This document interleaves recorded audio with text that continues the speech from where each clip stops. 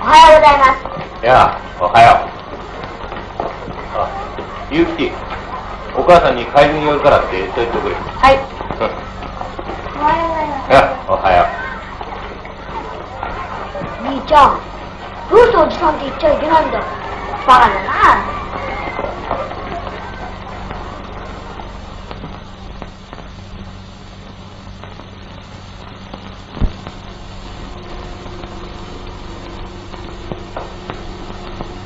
今の生活はお前の体には無理だ。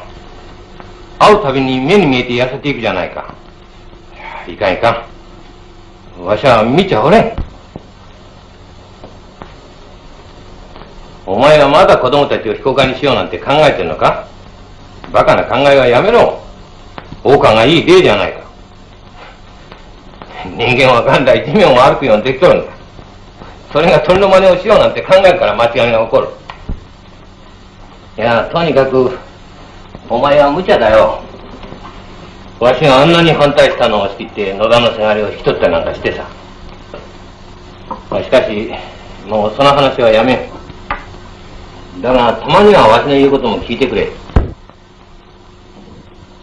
なあ、もう一度よく考え直してくれんかこんないい話はめったにないぞ。向こうは再婚とは言っても子供があるわけじゃなし。それに先方は結城と高島で連れてくることをむしろ望んでいるくらいなんだからな。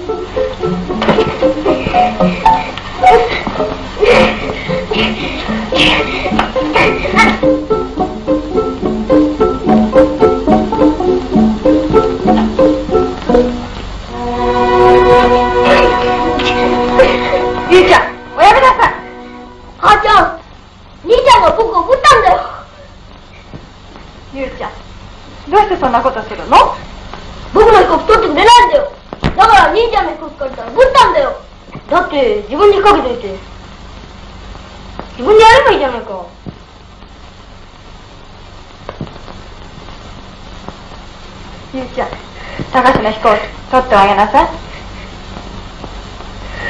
ゆうちゃんお兄さんでしょ？お母さんを手伝ってあげますから。取ってくれるわね。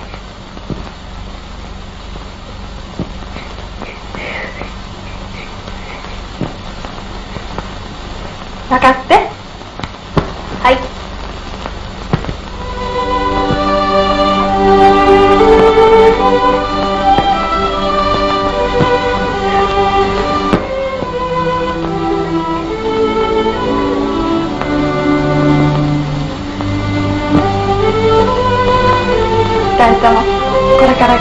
決して喧嘩しないって約束してくれるわね。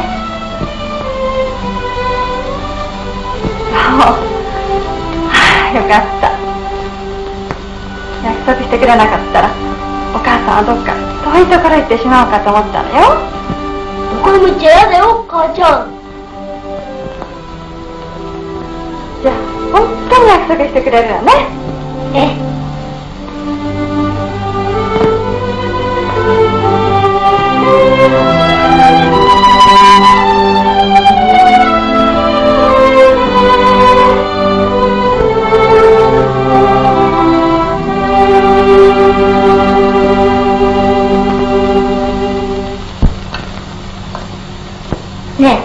母さん、高知ったらとってもおかしいんですよ。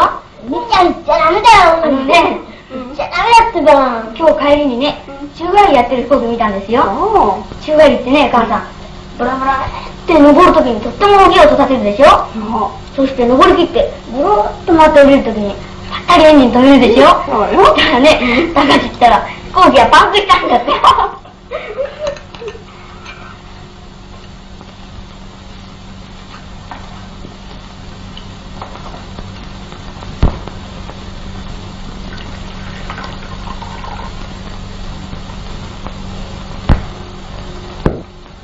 もうご飯おしまい？ええ。どうして？だって、今朝も一年だったじゃないの？母ちゃん、お医者さん呼んでこうか。お母さんどこも悪くないのよ？お昼にはたっぷりいただいたんだもの。本当？お母さん。本当ですとも。なんだ、病気かと思って、僕、心配しちゃった。そう。みんなのね大好きなカレーライスをたくさん作ったのよだけどお母さん一人できれいに食べちゃった。それじゃあ母ちゃん、僕も食べたかったな。そう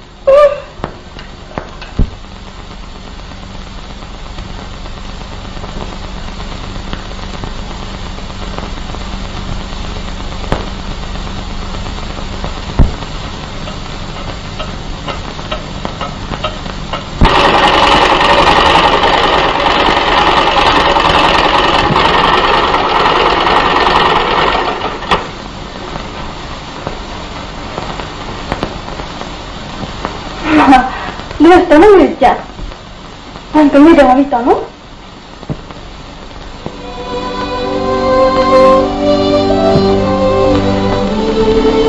バカねゆりちゃんは。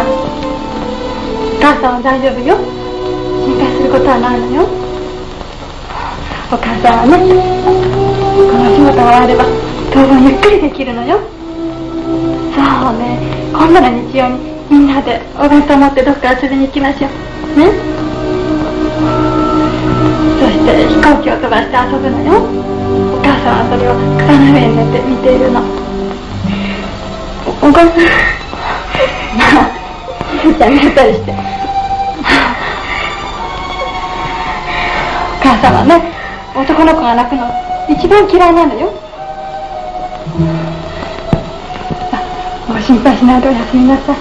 ね。お母さんもうすぐ寝ますから。ね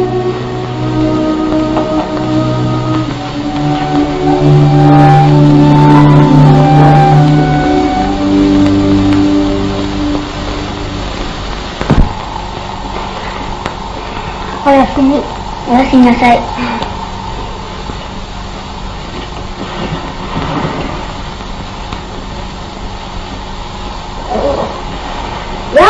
黙れあっち行け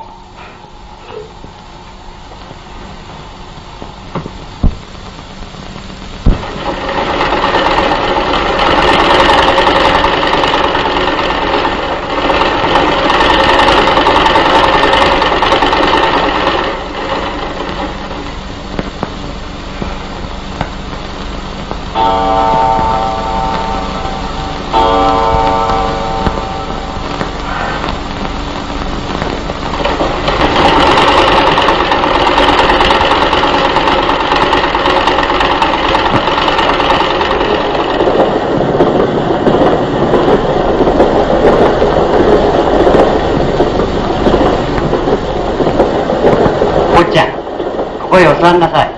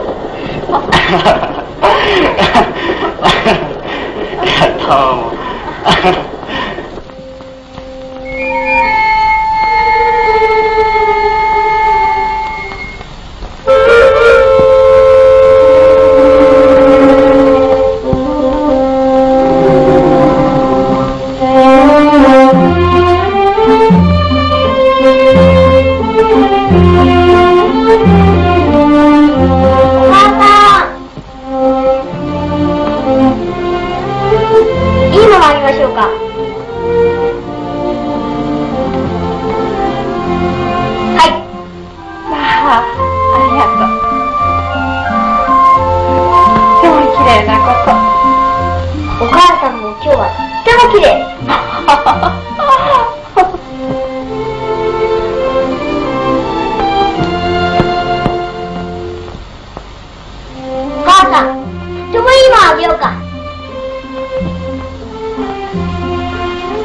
たかしちゃんはお母さんに何をくれるの僕は、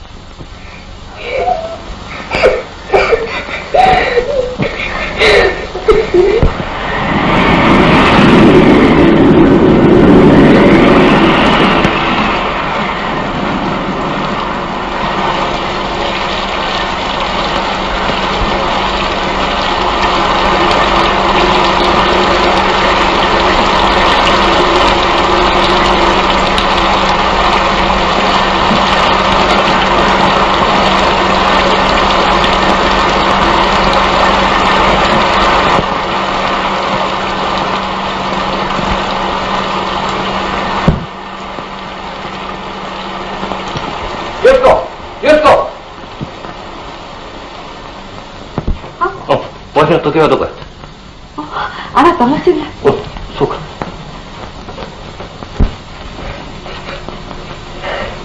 あねえ子供たちしばらくここに置いといた方がよかないかなそうですね。いえ、帰ります、おじさん。兄ちゃん、僕も。いや、高橋はここに置いて。あ高橋はいい子だから嫌だよ、僕。高橋。高橋さん、いい子だからここで待ちましょうね。高橋。兄さんの飛行機お前にやるよ。一番大きいね。は あいいな。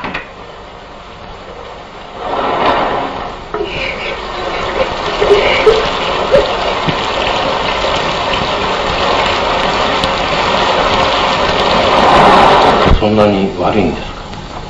普段あまりお上手でなかったからですね。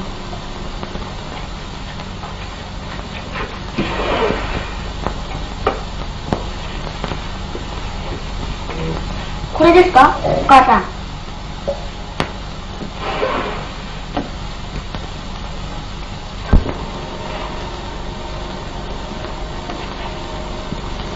ありましたよ、お母さん。高志のところ読んでごらんなさい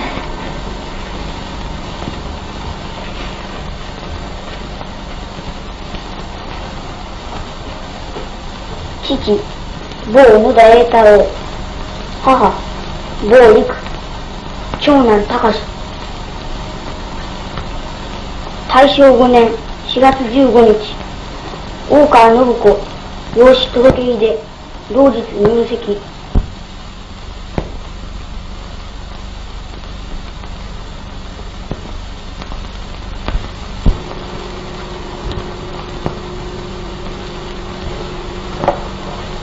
タカちゃんどうぞ。じゃあまたお祈りしましょう。高志ちゃん？お菓子召し上がれ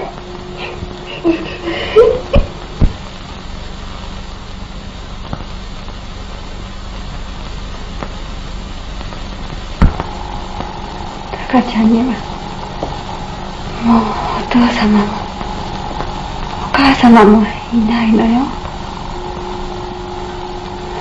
高ちゃんのお父様とあなたのお父様と一番の仲良しで立派な機関士だったの。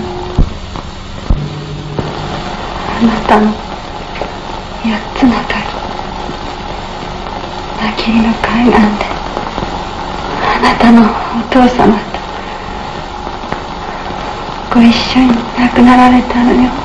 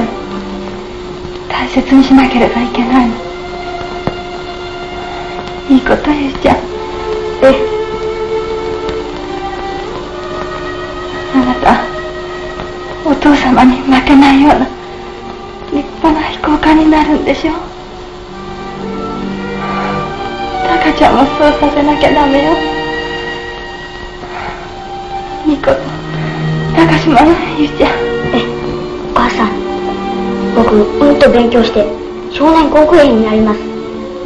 高島高志は、航空機乗員養成所に入れます。あそこならお金はいらないんですよ。洋服も、ご本も、鉛筆も、それに、お小遣いも毎月少しずついただけるんですよ。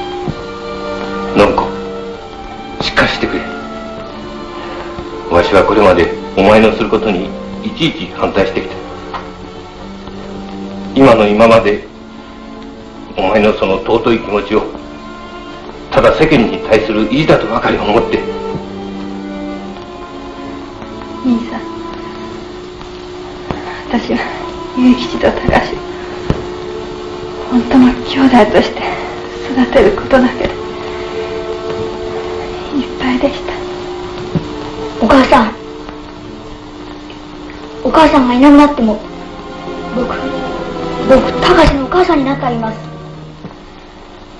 ゆうちゃんそのことは忘れちゃダメよ。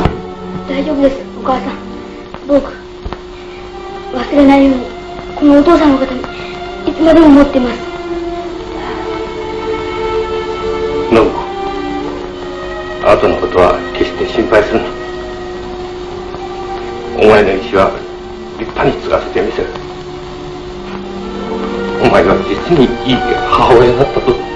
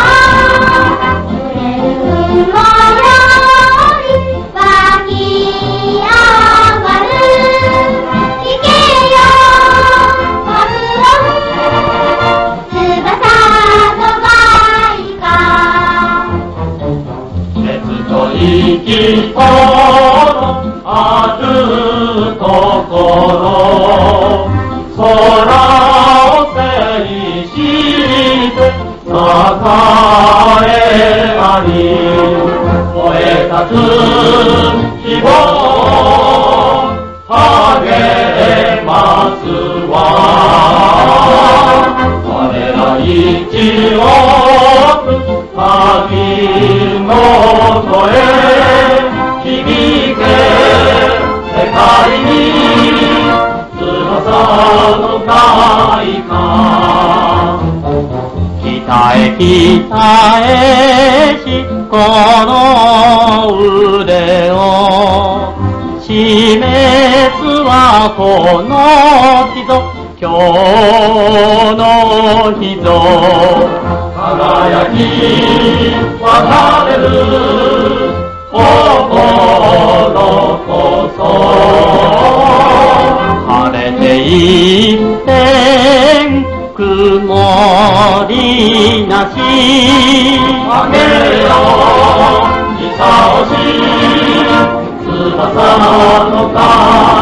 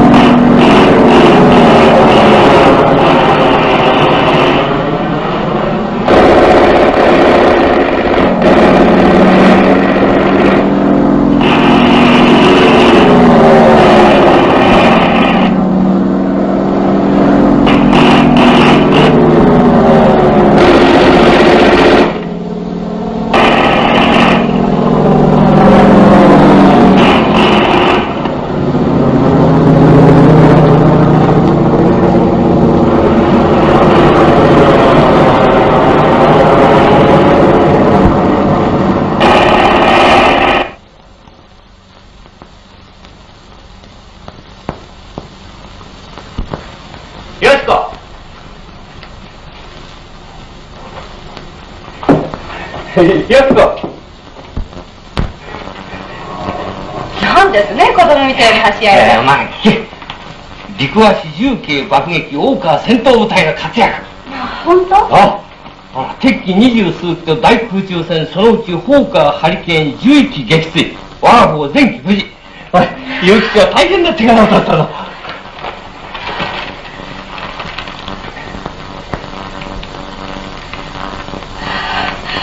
信子さんどんなに嬉しいでしょうね。そうだ。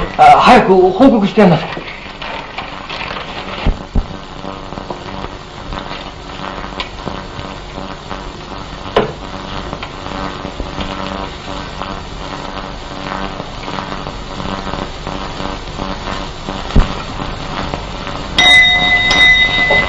そうだ。これは高橋にも知らせてやらない。ダメよお父さん。なぜ？なぜって。高橋さんは今頃高度3000ぐらいよ。え鳥の気持ちになってるわ。それもずいぶん乱暴な鳥なのよ。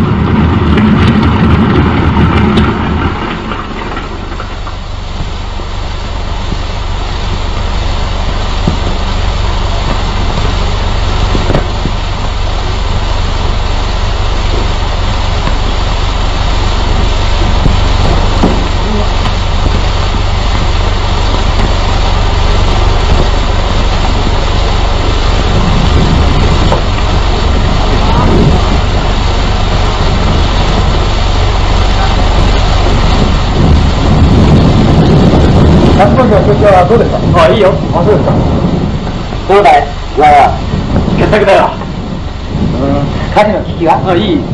しかし、鉄砲積んでるとわからんな。今は少し軽いから。それもそうだ。振動は？大丈夫だ。うん。発動機の回転は？うん、よく言えば少し足りないような気もするけど、まあとにかく傑作だよ。久しぶりで思うとも飛んでみたよ。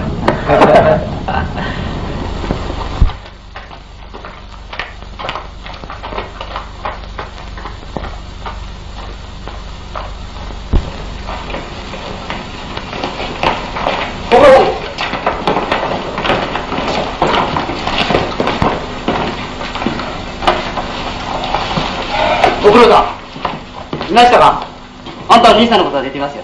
おお。すごいですな。また11機撃墜ですよ。おお。兄貴やったね。なんですってね、大川大尉はあなたの本当の兄さんじゃないんですってね。君、つまらないこと言うんじゃないよ。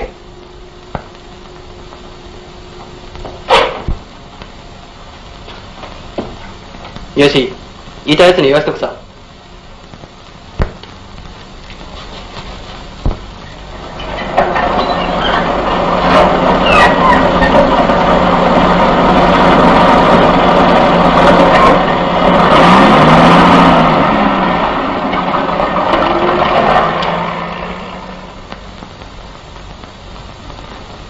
やっちゃおかえりなさい新聞見たお兄さんのこと出てるうん。どうしたの？ご機嫌が悪いよねいや、別に。ダメ歩きつきでわかりますどうして世間の奴らってつまんないことを詮索するのが好きなんだろうな。どうしたの？一体いや、兄貴のことなんだ。あの兄貴は僕の本当の兄貴じゃないってことを変に興味を持ってやるんだ。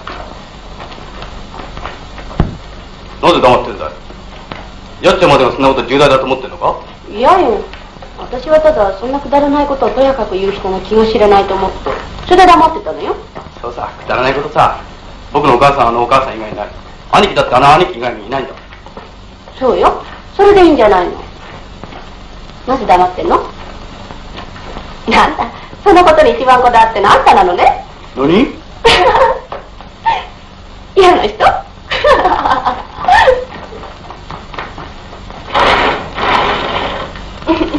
お母さんお母さん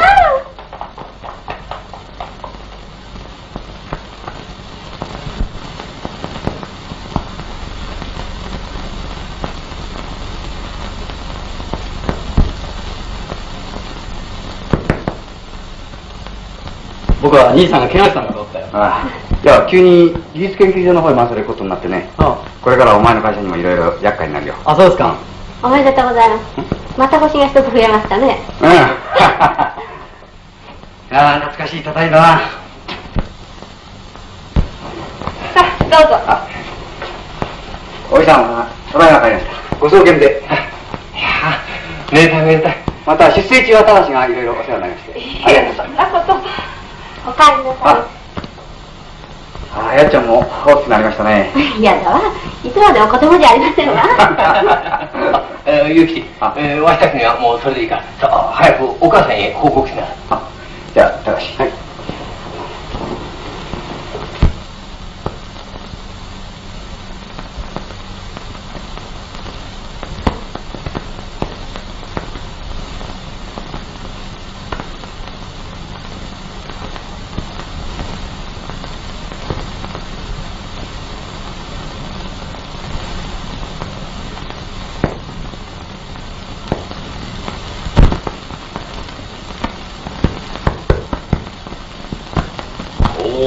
おいは平らげは熊を沈め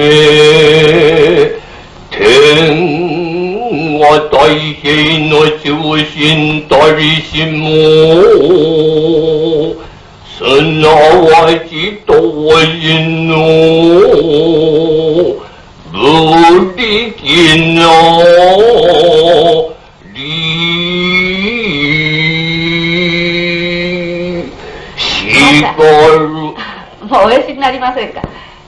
3個目はですよ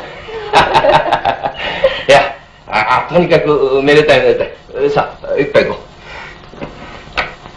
う僕は平気です年がら年中初動ののなるのを気つけてますからな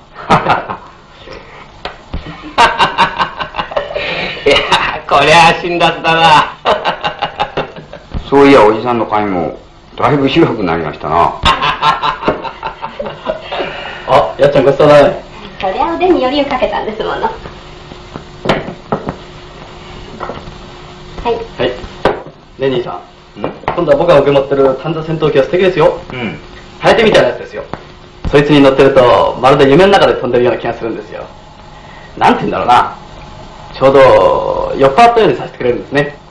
高橋。え？試験飛行士が酔っ払っちゃ困るな。お前はスリルに疲れてるんだ。気をつけなくちゃいかんな飛行機は機械。人間はあくまでそれの主人公だっていうことを忘れちゃいかんな。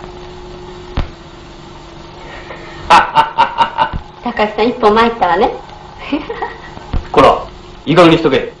三好の方は兄さんで喋るぞ。なんだよ三好って。高あのね、橋さん？うん今度の戦闘機の主任設計者ですね、うん。それがそ高のやっちゃんの。橋さんあお子さんおよ さんさっさ召し上がってしかし不思議な縁ですなこの戦闘機はあなた方兄弟の手中にかかっているな全くそれにこの飛行機の主任設計者の入手は僕のいとこと縁談が進行中なんですよ。おおそれはますます危険ですな。いっそ発動機の模様を作っても衛星関係を結んじゃどうですそうすればこの戦闘機は完全にオーダー一家の産物ってことになりますからないやそういうわけにはいかん。僕には女房がありますから三好ちょっと。兄貴だ。三好君です。いや。今度大川泰殿は豊富な実践の経験をこの戦闘機に生かすために特に現地からお買いになられたんだ。あお父さんからはよく伺っておりました。どうぞよろしくお聞き回しください。あこちらこそどうぞ。うんなかなかいい格好ですな、えー、翼面荷重はいかですかな。85です。うん。上半角は？えー、5度です。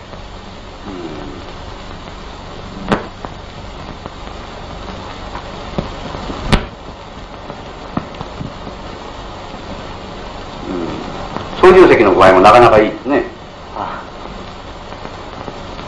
高橋から聞いたんですが旋回も申し分ないということですね。あしかし無装備のままの試験飛行の結果ですから。いや装備といってもスピットファイアみたいに何丁も生地を並べて無理をしとるわけじゃないんだから。あれは正面を見るとまるで休めうなぎみたいですな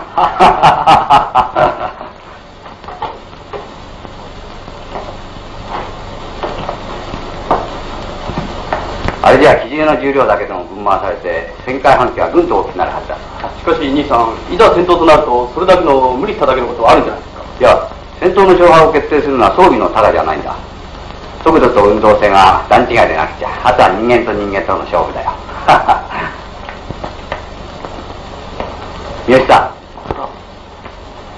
重量の具合で無理のようだったら装備の方を多少犠牲にしてもいいと思いますね問題はスピットファイアやハリケーン級の高速機を逃さないだけの速度と運動性です。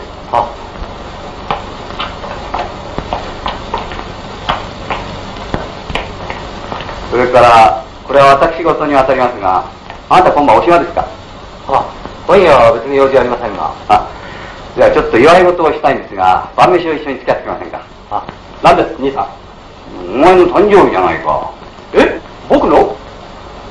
ああそうか。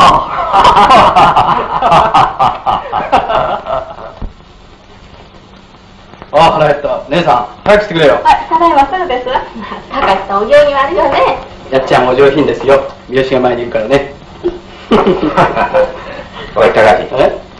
お前のために特別にそのおメダカの天ぷらを注文してやろ。まあなんですのメダカの天ぷら？いやこいつはね小さい時にメダカをたくさん取ってきて天ぷらにしたいって言い出した。んだまああのお連れさんがお見えになりました。誰か来るの？私がお呼びしたのよ。どうぞ。なんだ？お前か。高橋ちゃんお行によくしないと美代子さんに嫌われるわよ。お誕生日おめでとうございます。あ、どうも。えあの、兄さん、こちらの三好さんの妹さんです。兄貴です。はじめまして。じゃあ、高橋がいつもお世話になっております。さあ、どうぞ。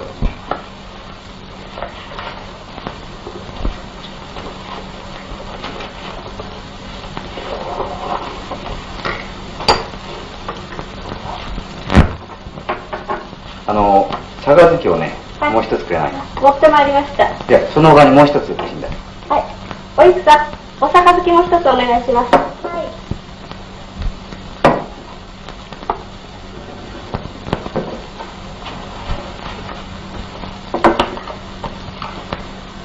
あの、こちら。どうぞ。あ、いや、勝手にやりましそうですか？お願いいたします。た。さあ。どうも。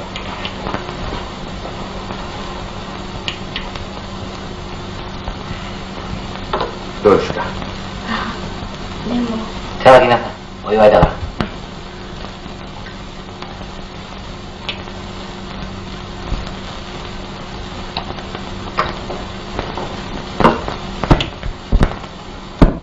なあ、高橋。今日はお母さんにも祝っていただこう。え、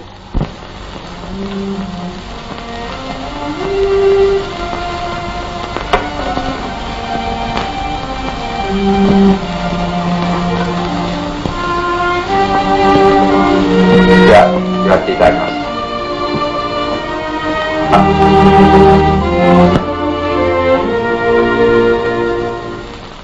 いいか、高橋。特殊思考に移る前に水平思考を十分にやってみること。それから、すべてコードを十分に取ってやること。はい。あんまり無理をしちゃいかんな。心配しないでも大丈夫ですよ。高橋。俺は今お前の兄貴としてではなく、軍の責任者として言ってるんだ。今度のテストの結果は言わなくても分かってるだろうが、国際間の科学戦の勝敗を決定するんだ。だからテストの結果をはっきり掴んで帰ってくること。それだけはお前の任務だ。それ以外のことを考えていかん。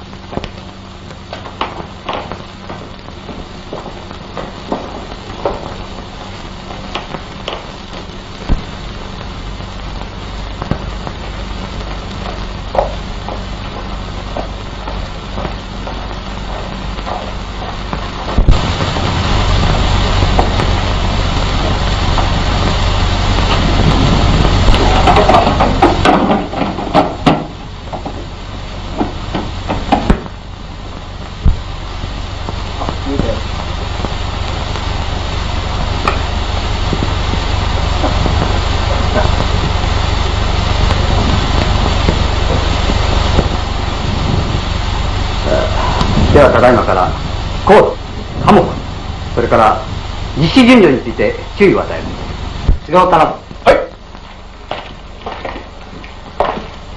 どうかね。非常にいいです。あ。高度3000メートル、注意事項、急降下4000メートル、2000メートルの間、ワイよし。発動機の調子は申し分ありません。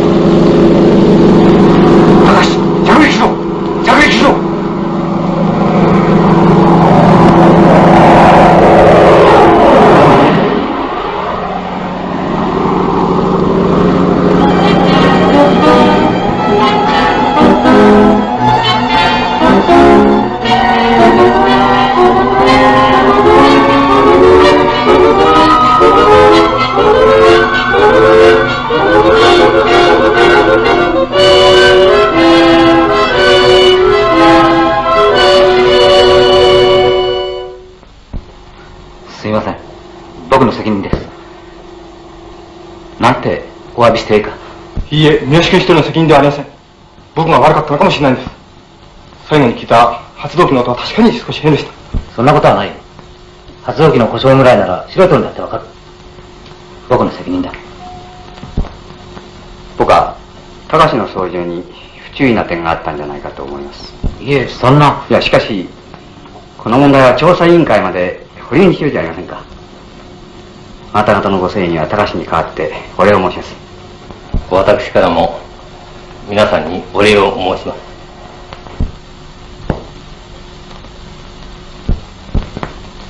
患者のお兄さんはどなたですか？あ、自分ですが、あ、あまりお会いなりたがるんで。あ、で、容体は、えー左上腹部の骨折が最も多い。その他、数箇所の打撲傷と下肢の火傷です。まあ、予病が減らしなければ、全治3ヶ月というところです。あ、で、今後飛べるでしょ？う飛べる？あつまり、飛行機の操縦は可能なんですか？ああ、飛行機ですか。そう。問題は左上腹部の骨折ですが、そうですな。患者の努力次第とでも言いますか。骨折などによる機能障害を回復させるには、医者の力だけでは不可能です。多くの場合、患者の精神力がものを言います。すると、操縦士として再起することも可能だとおっしゃるんですね。そうです。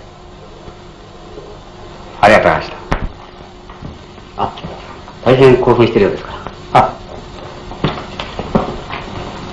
他の方にはご遠慮願いましょうか？兄さん。兄さん。静かに。来られましたよ。あまり大きな声出さない。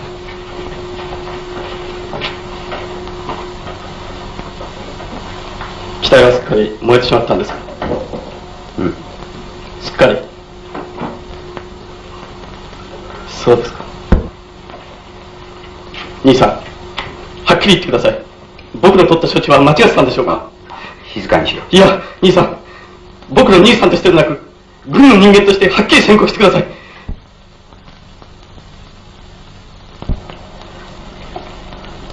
僕は悪い夢を見せたんだ。今まで空を飛んでいたのに、翼が変な格好にへし折れて、メラメラ燃えている。初めは影のかと思った。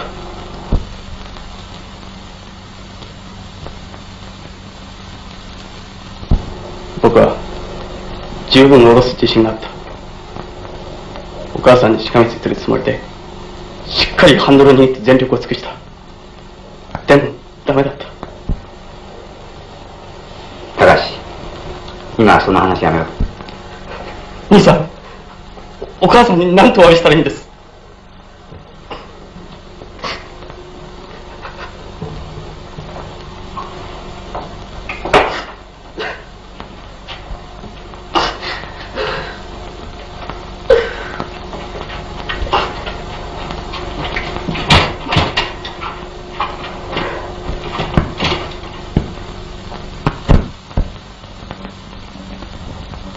作業というやつは、この縦の数百の修正部品と、この横の数千の勝負部品、6桁の金具のようですな。ええ、材料が特殊鋼と来てるもんで、作業も困難は困難なんですが。そうすると、第一試作機の時もこいつで引っかかったわけですね。いえ、そんなことはありません。大体作り直しというやつは、とかく行員の意気込みが違うせいか、いろいろ渋滞しがちなもんです。常識的に考えると、第2号試作機の工程速度は、第1号機のそれを当然凌駕すべきはずなんですが、実際には逆の場合が多いんです。今度の場合など特にいけません。試験飛行の結果が不明なので、はっきりとした改造があるわけではないし、工作側も張り切れないんですね。悲願で考えると、設計に対してなんか信頼できないような気分があるんじゃないかと思うんです。いや、これはもちろん私の責任ですが、全く困った問題です。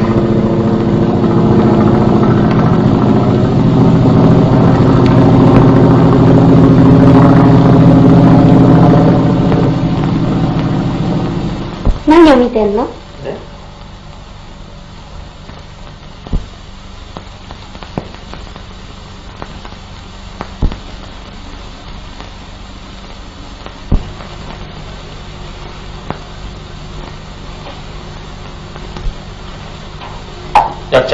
何？僕また飛べるようになるかしら？当たり前よ。どうしてそんなこと言うの？みんな僕に隠してるんじゃないのかい？バカね。高橋さん。どうぞ。いらっしゃい。いつもすいません。いかが？ええどうも。なんかこのギブスの下に虫が56匹いるらしいんですよそいつがムズムズ這い回るんです。ダメよイライラしちゃそれは治りかけてんのよ？あそれにね高橋さん。兄さんの入試作機がいよいよ骨組みにかかったんですって。え本当ですか？高橋さんの腕の骨と競争なの。早く治って飛んでいただかなくちゃええ僕も飛びたいんです。しかし。高橋さんとはダメなのよ。もう飛べないんじゃないかって一人で気を病んでんのよ。まあそんなこと。お医者様もちゃんと受け合ってらっしゃるんだもの。ええしかし調査委員会のこともありますしね。何を言ってるのよ。高橋さんには何のうちでもないんじゃないの？もちろん僕は機体を無事に下ろすことに自信があった。処置が悪かったとは思えない。そうよ。大丈夫よ。第一あなたには。あんなお優しいお兄様がついているんですもの。調査委員会は来月早々ですって。だから早く良くなってちょうだい。ええ。きっと良くなってみせます。兄貴毎日のように花持ってきてくれるんですよ。そうなのよ。まるで恋人に会いに来るような具合なの。ねえいい？花はこういうふうに持ってね。いやー百花繚乱ですな。先生今月中に歩けるようにしてください。おお大変な勢いですな。いやキリストさんはうまいことをおっしゃった。求めよさらば与えられ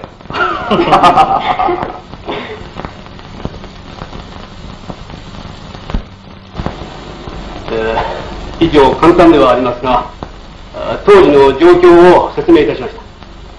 えー不時着後機体が消失してえーその原因を究明する手がかりを失ったのは何と言っても痛手であります。しかしえー試験飛行士が最後まで機体を無事に下ろすことに全力を尽くしたその責任感に対しては会社側としましては満足に思っているものであります。えー不時着直前まで発動機の状態には異常を認められなかったという試験飛行士の言明及び、えー無装備のままで行った試験飛行の成績が、えー申し分なかった点から見まして装備重量に無理があったのではないかと考えましたので、えその点計算を改めてやり直させてみたのですが数字的には別に誤謬は認められませんでした。すると何ですな。原因は発動機でもない設計でもないすると。他に考えうる原因としては工作上の誤差か操縦士の過失ということになるが。設計の破綻は多く科学の力を最大限に信頼しすぎる点にあると思いますその点私の設計は速度運動性装備すべて数学の許すギリギリのところまで推し進めてあります。その結果設計者はそれでよろしい。それがあなたの任務です。我々は今そのギリギリの数学の実用化のために冷静に問題を検討しているんです。感情を交えて人をかばう態度は取りません。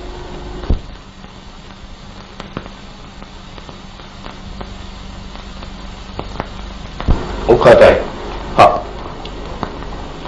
君の意見は？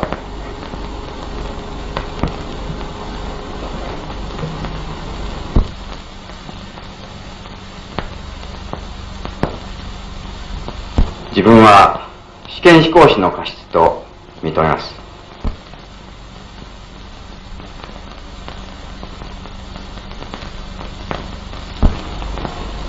当日の急降下の状態などを見まするに試験飛行士は命令を無視して2000メートル以下まで降下しております。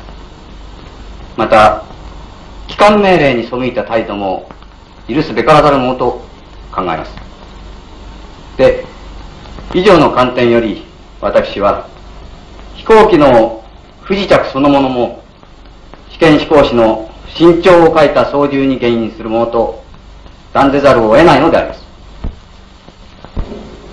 なお私はこの問題を一日も早く落着されて第二試作機の工作に各員が全力を傾倒されることを切望する次第であります。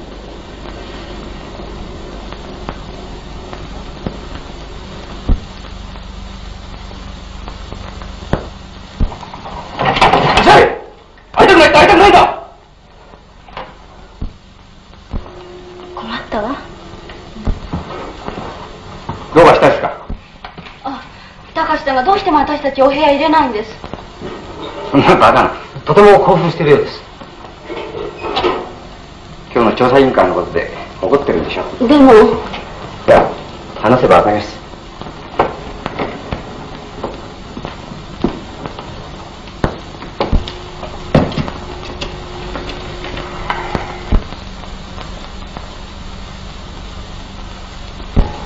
ただしさんはお前の過失に対して厳格すぎたかもしれん。しかし兄さんが一番心配したのは第二試作機に対する工作者側の熱意なんだ。設計に対する絶対の信頼がなくては工作者は全根を傾けうるもんじゃない。いいか？何か原因の不明瞭な欠陥を持った不吉な飛行機。それを再び作らせられる。そんな考えを工作者側に持たせたらそれまでなんだ。じゃあそのために僕の立場がどうなっても構わないって言うんですか？バカ言うな。お前の立場は今度の試験飛行の結果に変わってるんじゃないか。え兄さん。それは僕にまた飛ばしてやるって意味なんですか？ねえ兄さん。僕にもう一度機会を与えてください。今度こそ立派にやってみせますから。ねえ。ねえ、兄さん。お前の目下の急務は自分の体を回復させることじゃないか。え、大丈夫、回復します。きっと治ってみせます。だから兄さんお願いなんです。どうぞあの飛行機は僕の手でスタジオさせてやってください。ねえ兄さん、僕が飛びます。もう一度。僕はあいつの夢を毎日見てるんですよ。あいつの夢を。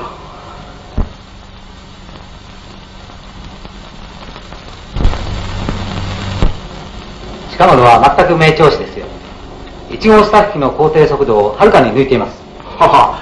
三好君も一時はだいぶ泣き言を流れとったな。最初のうちはどうなることかと思ってました。うん。この分だと無装備の試験飛行はいつ頃行える予定です？半月は繰り上がる予定です。ああそれは結構です。いやそれも皆大川隊のおかげですよ。工員たちは有名な空の有志にご苦労さんって敬礼をされるのがたまらなく嬉しいらしいんですな。ああ それは初耳ですなこんな武骨な男にそんな外交手腕があろうとは思わなかった。えーところで試験飛行士の件ですがこの近藤って男はどうかと思ってるんです、はあ。飛行時間は？えー、1500600時間ぐらいです。主に戦闘機を手掛けておった男です。うん。性質は？えー最新スイルくらいの男です。あお堅い。適任だと思うが肘を差し挟んで申し訳ありませんが、自分は自分の弟にもう一度機会を与えてやっていただきたいと思います。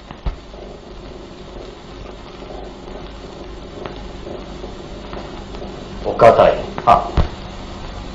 いやわしは君が第二試作機の工作の陣長を期するために自分の弟を犠牲にした口はわからんわけではない。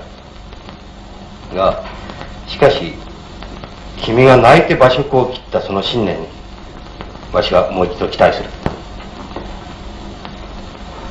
軍はこの新鋭機にかけてる期待は大きいの。だ試験飛行はあくまでも慎重を期してもらわねばならん。お堅いあじゃあ改めて聞くが今度の試験飛行士選考に関して君の意見は？あ、自分は直接自分で試験試行を行いたいと思っております。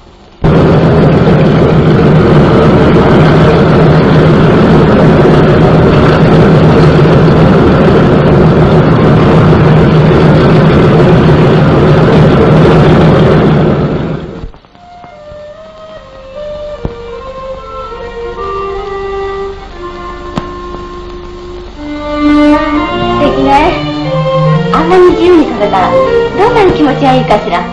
いや、あなたは兄さんの飛行機の方がもっと素敵ですよ。まあ高橋さんはお母様よりもお兄様よりも飛行機が好きなのね。え私は？お薬のお時間よ。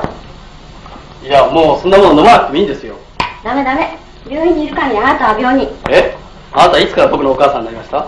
まあ少しおまけして。はい。はいはい。一日も早く良くなるようにね。ええ。それでなくちゃ本当に兄貴にすまんですからね。そうよ。本当にいいお兄様。今度はあなたの敵討ちまでなさんのね。え？敵討ち？あらご存じないの？お兄さんが言ってたわ。今度の試験飛行はご自分でなさるんですって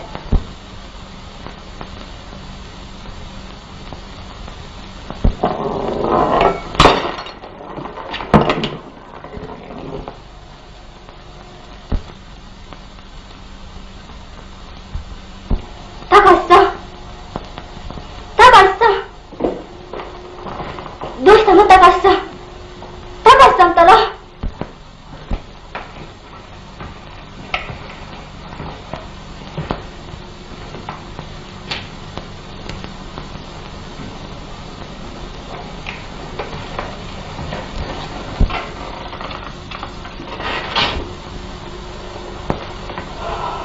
あ、毎日すみませんね。高橋さんが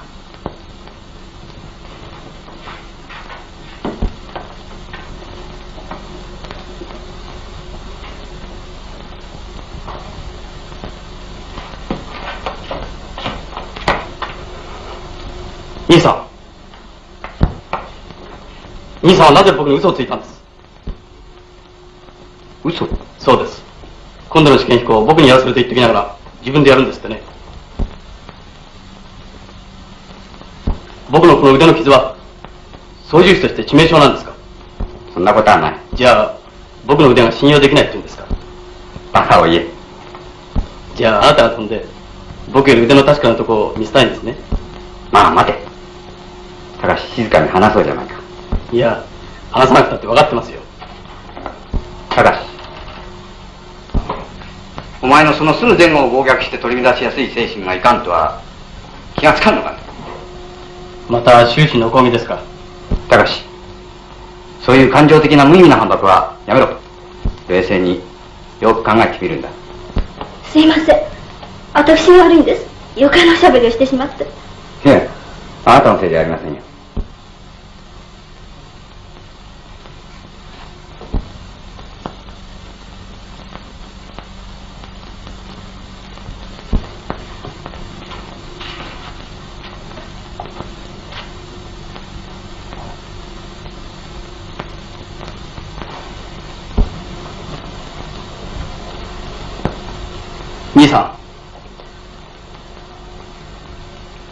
こう思う。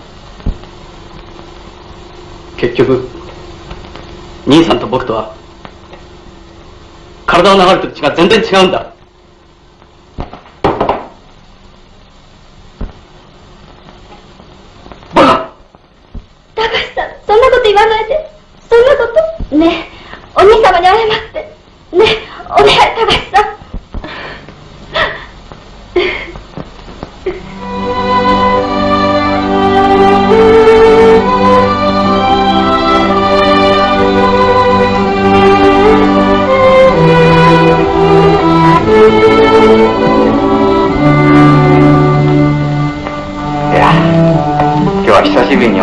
叱られた時のことを思い出しましたよ。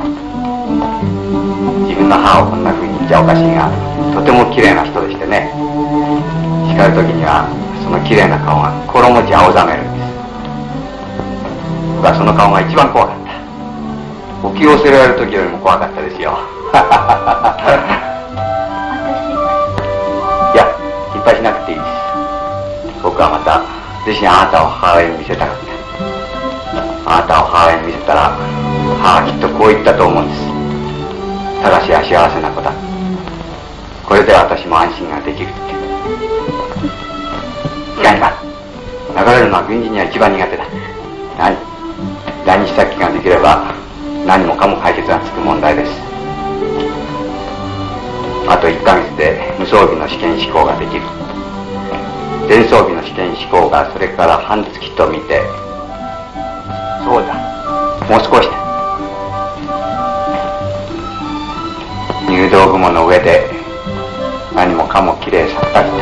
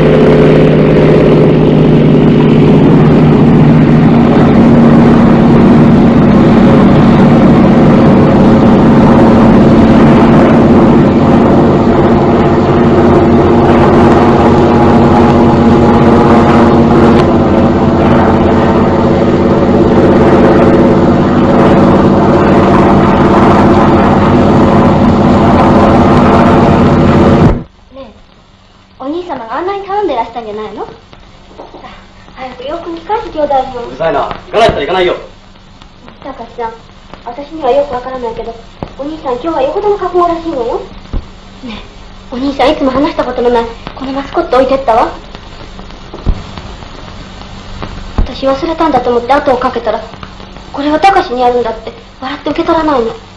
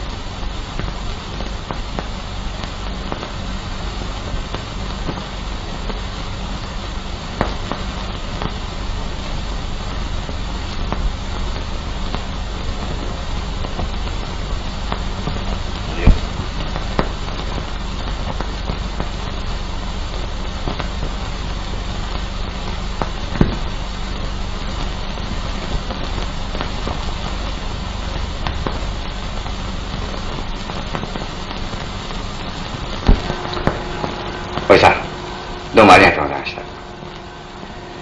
高橋いずれお前にも機会があるだろう。ええ。僕もお召しになってます。あの新駅で思い切り暴れてみたいんで三好さんご完成おめでとうございます。早くゆきさんの手柄話が聞きたいわね美代子さん。ええ。これもみんな諭吉さんのおかげです。そんなことはありませんよ。みんなの努力の結晶です。これで自分も安心して現地に帰れます。自分こそお礼を申しいえそんなご縁気でご奮闘を祈ります。僕も後から切っていきますよ兄さん。うん。待ってるぞ。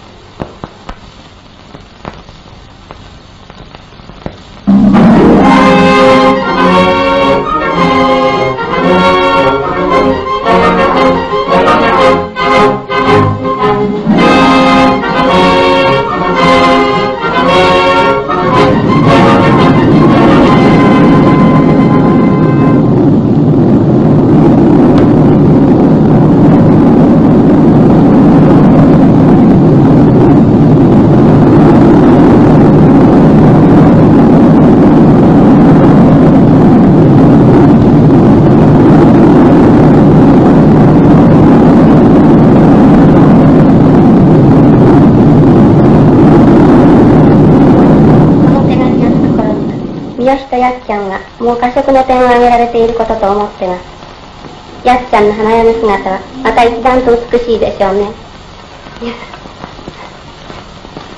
よき奥さんになられるよ。う兄貴と共にはるかに南の空よりお祈りしています。こちらは二人とも至極元気であります。高橋さんもすっかり兵隊さんね。兄弟仲良く思い出のあのはやぶさ号にてこの思い出のところに点々が打ってあるのよ。ああ。のは思い出のはやぶさ号にて仲良く肩を並べていや翼を並べて美しい雲の上を飛び回っています。皆さんにお見せしたらと実に残念に思います。それは翼の外貨とでも言いたいたくましい雄大なものです。兄貴の曰くこういう空の上にはきっとお母さんがおられるに違いない。僕もそう思います。あの優しいお母さん魂が僕たちの飛行機の周りを飛んで見守っていてくださるに違いないと思います。僕はいつも4000メートルの高度を取ると思わず叫ぶのです。お母さんお母さん。